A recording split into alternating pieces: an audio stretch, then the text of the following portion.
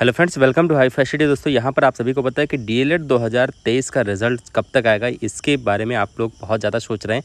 उससे पहले मैं आपको बता दूँ कि डीएलएड रिज़ल्ट पे रोक लग सकती है। जी हाँ फ़र्स्ट सेमेस्टर, थर्ड सेमेस्टर, जल्दी देखें क्या आपका रिज़ल्ट भी रुकेगा। बहुत बड़ी खबर है अब तक की। दोस्तों, यहाँ पर क्या गलतियाँ की है स्टूडेंट लोगों ने, वो सारी चीज़ें मैं इस वीडियो में आपको बताऊँगा। सबसे पहले आप देख सकते हो कि डी में एक अनुक्रमांक की दो कापियाँ मिली हैं, जिससे आपका रिज़ल्ट जो है वो फंसा।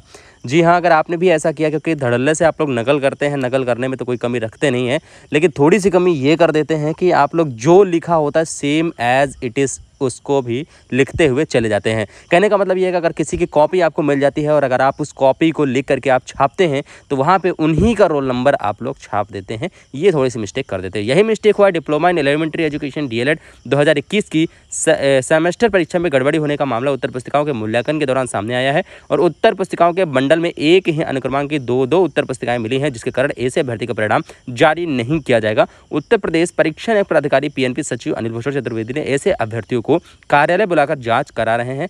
इसके इसके बाद उनके परिणाम को लेकर निर्णय लिया जाएगा। मूल्यांकन के दौरान उन उत्तर कुछ उत्तर पुस्तिकाएँ ऐसे मिली हैं, जिस पर अंकित अनुक्रमांक किसी दूसरे उत्तर पुस्तिका पर भी अंकित है। ऐसे में माना गया है कि या तो नकल करते समय दूसरे भर्ती का वही अनुक्रमांक अंकित कर दिया है, जो नकल के लिए उपयोग की जाने वाली उत्तर पुस्तिका पर अंकित था, अथवा दूसरी कॉपी लिखकर जमा की गई है, लेकिन पहली वाली हटाई नहीं गई है, जिसके कारण एक ही अनुक्रमांक के दो उत्तर पुस्तिकाएँ हैं। इसके चलते समान अनुक्रमांक वाली उत्तर पुस्तिकाओं का परिणाम जाँच होने पर रोक दिया जाएगा या जाँच होने तक रोक दिया जाएगा।